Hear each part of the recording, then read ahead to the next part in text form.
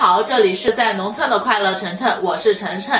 现在我们农村的土地啊，可谓是一天比一天价值更高。所以说啊，我们农村的这三个地段的土地可千万不要买。到底是哪三个地段啊？下面啊就听晨晨来给大家讲一讲。我们都知道，以前都是城市里面的房子多贵多好，然后特别不屑于我们农村这一些种地的。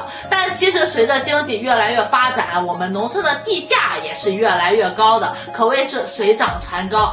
第一个。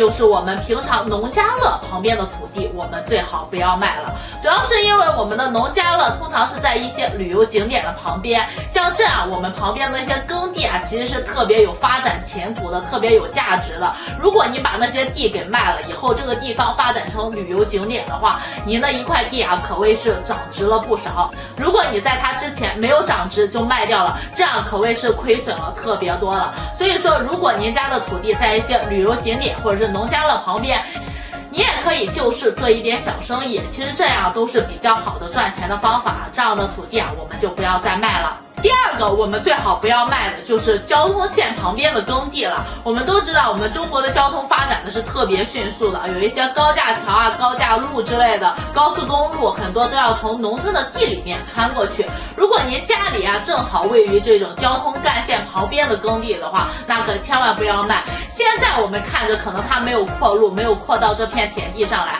但是以后啊很有可能就扩到这片田地上来了。如果一旦扩了路啊，那补偿款啊。可是比较多的。如果你提前啊，因为一点点小便宜把它给卖了，那么之后扩路的一些钱财可就跟您无关了。所以说，交通线旁边的路啊，我们最好就不要卖了。